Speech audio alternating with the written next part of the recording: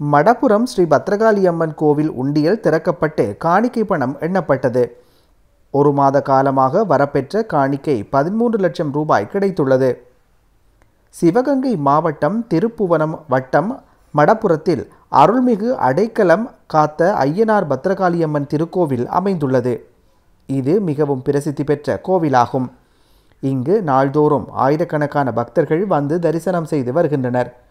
இத்திருக்கோயிலில் இன்று உண்டியலில் உள்ள காணிக்கை பணம் உண்டியல் திறக்கப்பட்டு மதுரை ஸ்ரீ ஐயப்ப சேவா சங்கத்தை சார்ந்தவர்கள் மூலமாக எண்ணிக்கை நடைபெற்றது. இப்பணியானது மடப்புரம் ஸ்ரீ பத்ரகாளியம்மன் கோவில் அறநிலைத்துறை உதவி ஆணையர் மற்றும் செயல் அலுவலர் திரு வில்வமூர்த்தி அவர்கள் தலைமையில் ஆ. செல்லப்பாண்டி ஐயனார் மற்றும் சுகன்யா அவர்கள் முன்னிலையிலும் எண்ணப்பட்டது. இதில் ஒரு மாத காலமாக வரப்பெற்ற காணிக்கை பதிமூன்று லட்சத்து நான்காயிரத்து முன்னூற்று இருபத்தொன்பது ரூபாய் கிடைத்துள்ளது.